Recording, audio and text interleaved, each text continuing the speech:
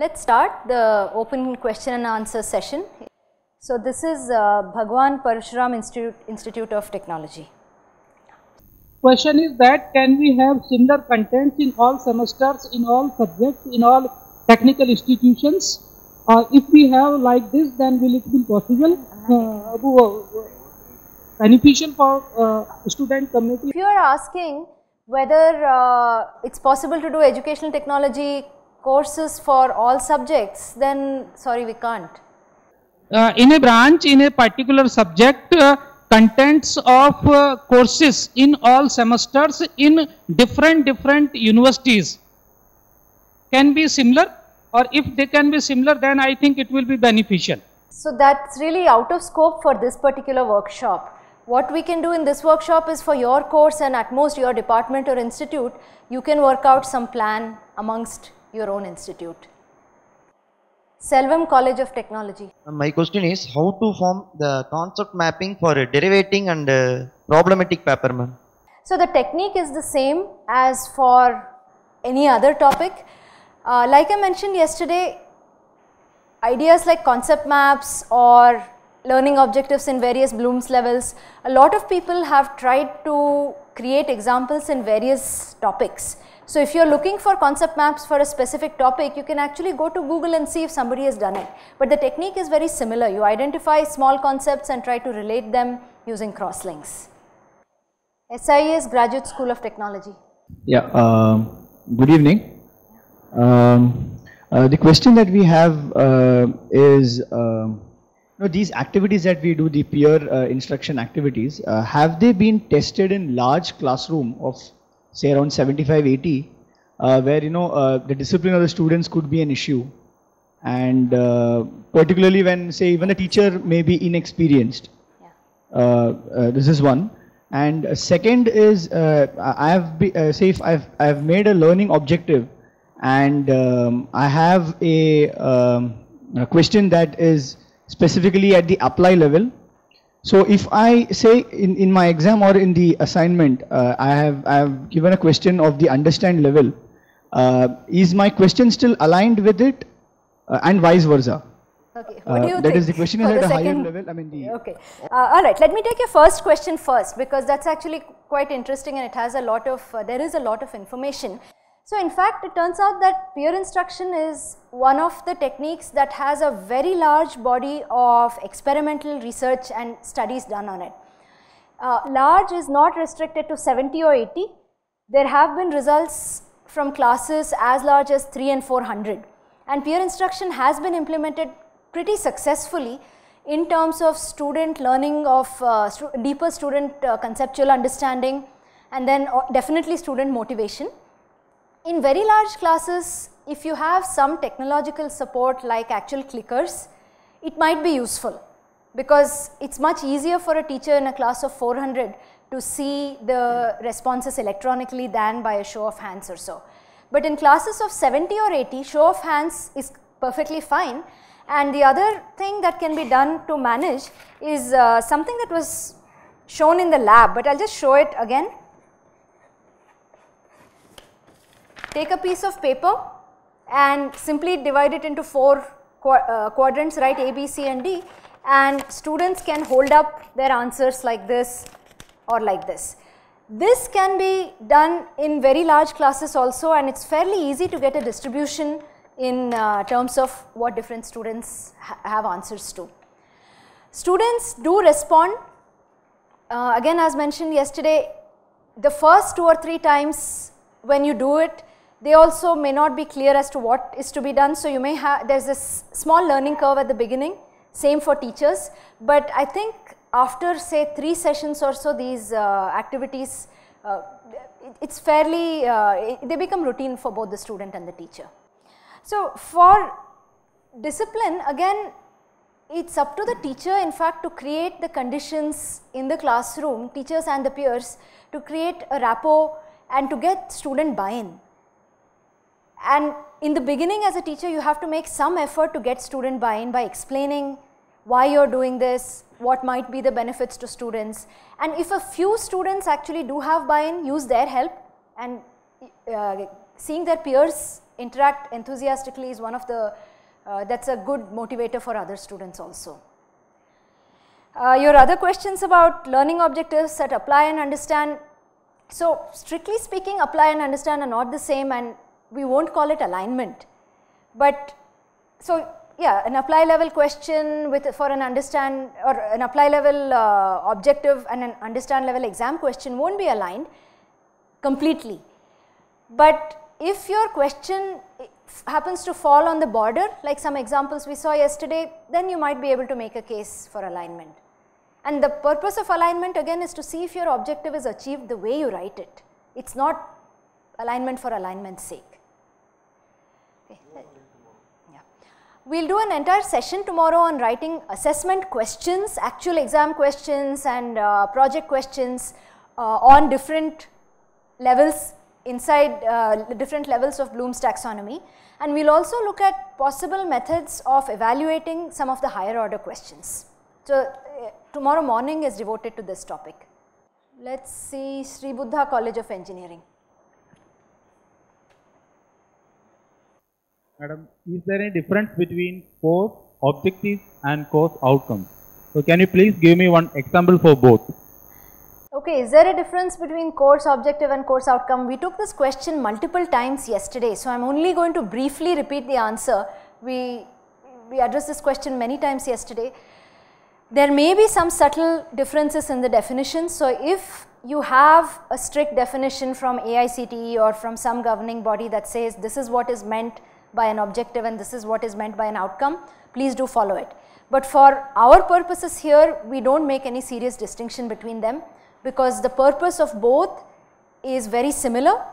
It is to determine or to identify what is the performance outcome of the learner. It is to identify what can be measured when learners do something. Jawaharlal Nehru National College, please go ahead. Uh, Ma'am, actually, I strongly believe uh, human work can't be replaced by uh, the machines. Uh, you, uh, Actually, you talk towards video and animation, uh, animation oriented uh, teaching method. So, at what extent this kind of video lecture series is useful for uh, knowledge sharing and uh, uh, and uh, distributing and knowledge sharing with the students? And because we we can't we can't follow up all the things in video video lecture series because some of the important portion may be skipped at the time of explaining the video series. Uh, uh, then how can how can we uh, it is useful how can we the video lecturing is useful for uh, uh, advanced teaching methods method now okay so uh, once again the answer to this is that there is an entire session on flipped classroom tomorrow where we will be taking up this question of can everything be converted into a set of video lectures? The short answer is that no everything cannot be done there is a lot of things that there are only few things that you can outsource to the video which the students can do out of class and there is a lot of things that you have to do in class after the students have watched the video. What those things are, we will see tomorrow. IES College, please go ahead. Ma'am, I have a question. For visualization, we are having three tools like video simulation and third one animation. Which method is better for visualization? Okay, this question was actually answered in the session in the afternoon on visualization and the answer to this question is that it is not a meaningful question at all. One and again yesterday similar questions came which is the best teaching method, which is better A or B. Such questions are not at all meaningful because they not help you find a suitable method for a particular goal. Short answer to your question is it depends on the purpose. There is no other answer that to which is the best method. Sri Shankaracharya Institute, please go ahead. Ma'am, uh, TPS activity for faculty member is very good, but if we implement for the students in the classroom, it is very much difficult to complete the syllabus in between the given time frame. So can we implement TPS for specific some unit or some topic only? Okay, so the question is that TPS activities take a lot of time and is it possible to complete the syllabus in the given amount of time? I think I paraphrased that question appropriately. So the point again here is that it's not necessary to do every technique for every topic. So one once in a while, so for, for example, in one class, if you are doing TPS or maybe even in alternate classes, you are doing one TPS activity, that is a good enough frequency of the TPS activity. So the choice of matching the purpose of the activity with your learning objective, that is the important thing. Like even in the case of the previous question for the visualization, which visualization rather than that match the purpose with the learning objective. So for a particular topic, TPS may be useful, then use TPS only for that topic. So you will find that it's possible to cover the syllabus. In fact, a lot of uh, topics the students will discover on their own through this mechanism. So only when you start implementing them, you will start getting confidence in the techniques that all these uh, issues of class control and issues of syllabus coverage. These are the two common concerns that any instructor has when they move from traditional lecturing to using some active learning technique. So you will find that both of these things in your own class, you will be able to see that they are being taken care of. Uh, I want to take a, th this common issue before we go to the next question on completion of syllabus and we did discuss this to some extent earlier. Uh, there are a few more points I would like to make to continue this answer and the main concern is how can I do all these strategies? I like active learning, I want to do all of these but I can't complete my syllabus. So as was just mentioned, you don't have to do, in fact you should not do all these activities at the same time. You should pick and choose the one for the purpose. At the same time, you can, you'll find that if you use active learning, one of these active learning strategies, for example, think, pair, share, to discuss a particular concept, you may not need to spend 20 minutes giving a lecture on the same concept. So don't think of these activities as something over and above what you have to do in terms of giving a large lecture. But you can start off, you can start off your class with a peer instruction question and the discussion phase of the peer instruction can be the instruction for that topic and then move on to the next topic if you feel that students have understood it. So this is one way you can use to insert these techniques within your lecture. Bhilai Institute of Technology. Uh, good evening, madam. Good evening. There's a question like uh, we have written the course in uh, um, uh, objectives and then we have also written the concept, uh, we have done the concept map, etc. Uh, but how can we validate that it is right? What is the validity? Is there any such validity for knowing that what we have done is right? Yeah. Hmm? Yeah. So, uh, correctness or the validity of the concept map, I mean there is no, there is no, I do not have a clear answer for that. What you should do instead is see if that concept map helps you achieve your purposes. In the sense, it is a tool for yourself. If you are creating a course, a concept map for your own course, it's the, it's a uh, basis for which you will design your entire course. So, it's an alternate representation. There are ways to assess concept maps that students have made for a particular topic, but that's not the same as evaluating the validity of your own um, concept map. And also different instructors may have different concept maps for a similar course that's perfectly acceptable. Here it's more a matter of fit for your goals and your constraints rather than validity. Magdam College of Engineering. Hello. Uh, madam, to how much extent the TPS activity is applicable for mathematical subjects or analytical subjects like electromagnetic engineering and other that is network analysis etc. Okay, okay.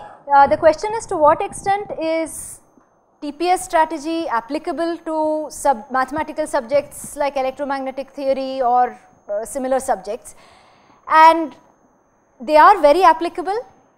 The challenge is to find a question for which the TPS activity again works well.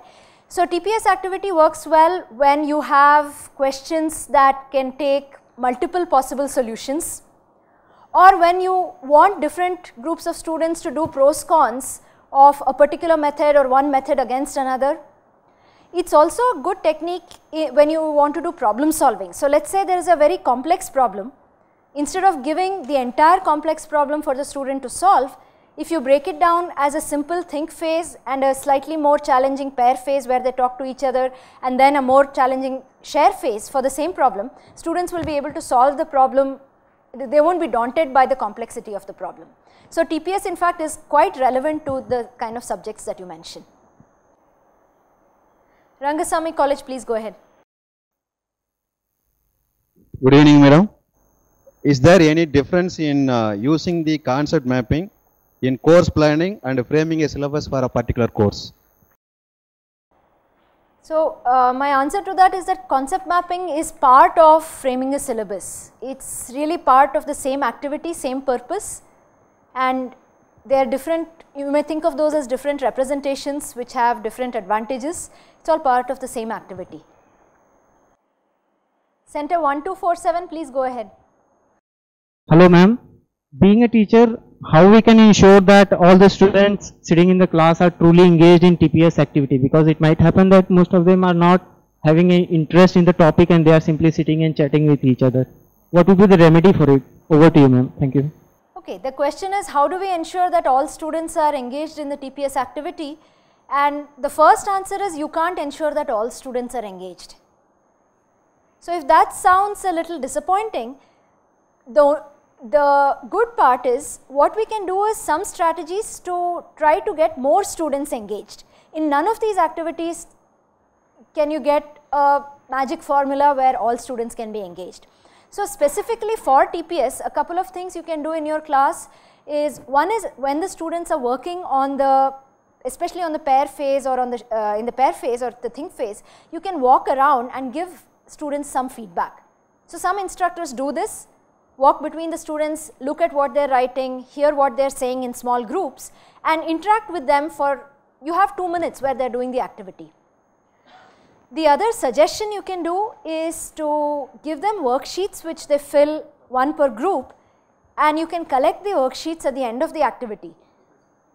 The fact that the students are required to submit a worksheet sometimes that helps them uh, be more motivated. Thiagarajar College, please go ahead. Hello.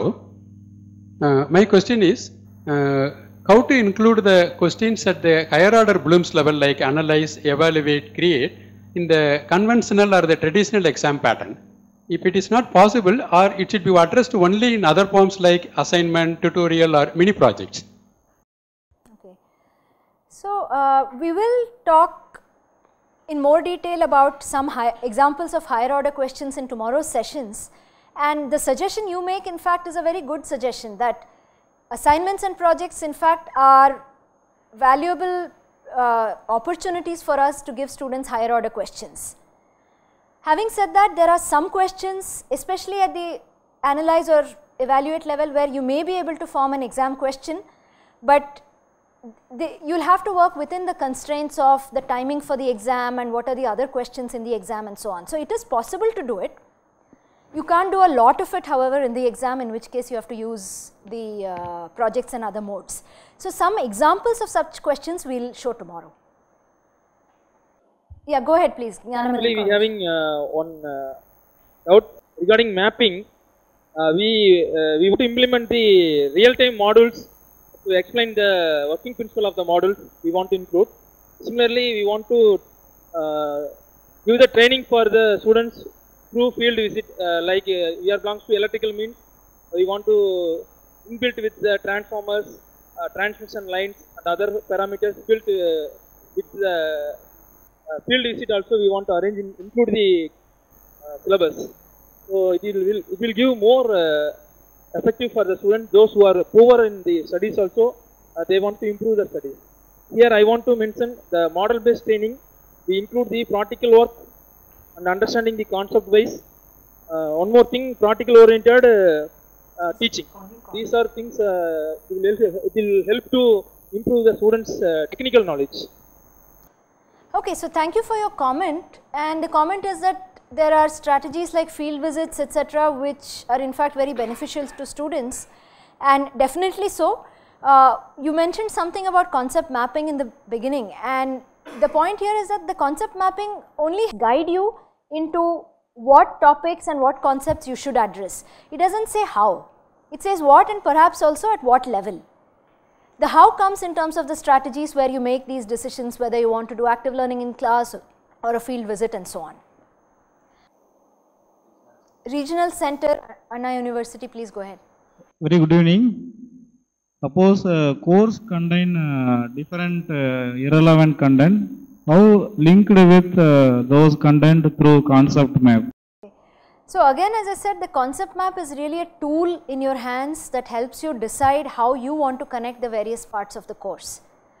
Possibly there are some threads in the course, some sections which are not linked to others, but that is your choice whether you want to include them or not. The concept map is only a tool. It is a tool that represents various topics and various learning objectives. DY Patil? Uh, good afternoon. I had a question or rather a comment to make on the pair phase of think, pair and share thing. I know we've been discussing this quite a lot, but uh, generally the pair part of the think, pair, uh, share thing becomes very noisy. And managements do not like such classes and read instructor for it. So what do we do in such a situation?